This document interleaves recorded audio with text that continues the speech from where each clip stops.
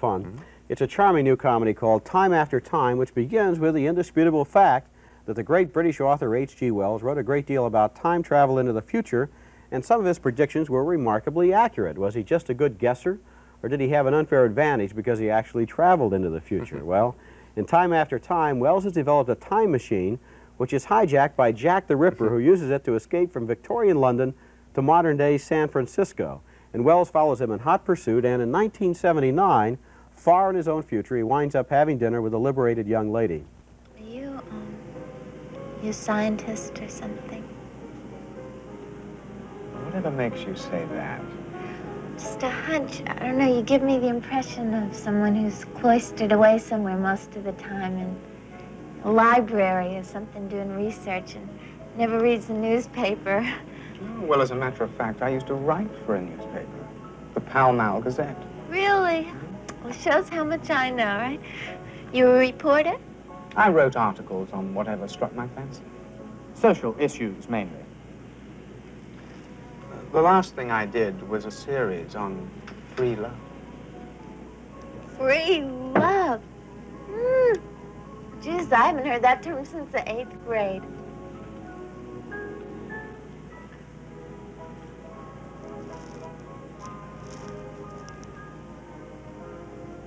Something. Did you think it was very forward of me to invite you to lunch like this? Do you uh, often invite... Do I often invite strange men to lunch? No, I do not. But it's not often that a strange man turns me on, or a strange woman. Oh, don't get me wrong, I didn't mean to imply I was a dyke. A dyke? Oh, sorry, lesbian or anything like that, because I'm not. I like my sex straight. It's just that I do go for months sometimes without meeting anybody who does it for me, you know what I mean? A lot of people like, um, like my friend Carol, you know, I'm not telling tales out of school, but a lot of people can just sleep around, you know, but not me. I really have to like the guy, otherwise it's just no-go.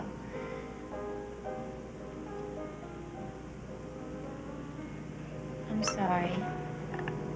I guess I shouldn't say all that stuff right off the bat like that. It's not women's lib. I just get nervous. When I get nervous, I tend to babble.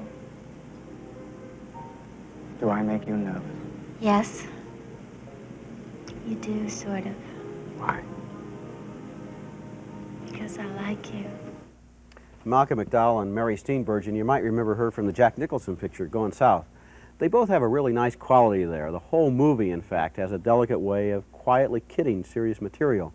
But there are more dramatic moments, too, like in this scene, where Wells demonstrates his time machine to his doubting girlfriend. You sure you know what you're doing? What am I saying? This is completely bananas. I don't propose to take you any great distance. Suppose we just go forward to this Saturday. How would that be? Just fine. My cleaning's due back.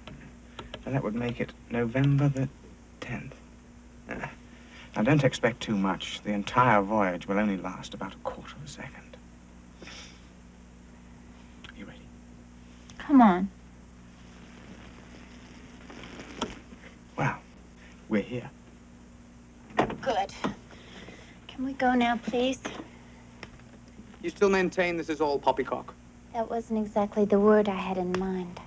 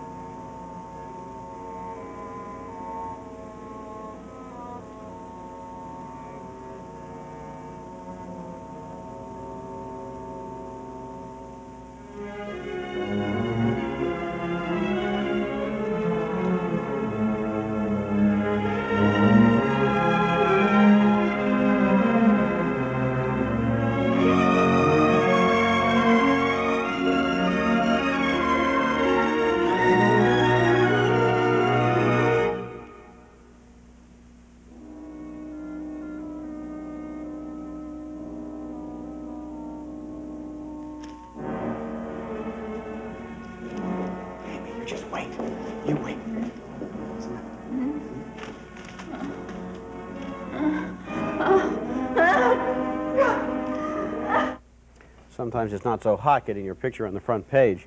Time After Time could have been one of those clumsy satires that make a lot of simple points time after time, but it's not.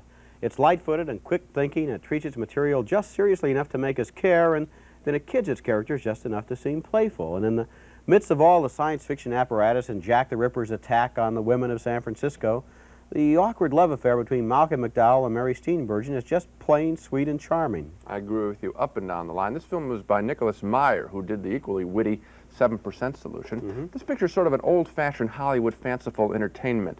Uh, it reminds me in a way of uh, Warren Beatty's remake, Heaven Can Wait. Right, That yeah, took us yeah. to heaven. This picture takes us into the future, which is really the present. Uh-huh. It's nice, and it has uh, nice special effects, time travel, twinkling little lights, old-time, classy Hollywood film. And you know, there's something else in the midst of a fantasy or a science fiction film, which I guess we can call it, and that is the relationship between Mary Steenburgen and Malcolm McDowell. We use a, a lot of times we talk about the chemistry that goes on in a film. A lot of the times we don't know what we mean, but this time I think there really is a chemistry, a kind of an awkwardness, a sweetness, an affection there that comes through and really sells that relationship. Yeah, you want them to get together, but know Yeah. that since they come from two different times, that they really can't in some way. Well, It's a don't give away the ending, Well, though. it's a strong picture. We can also recommend Time After Time, the charming new comedy in which H.G. Wells finds himself adrift in modern-day San Francisco. Two more yeses for that one.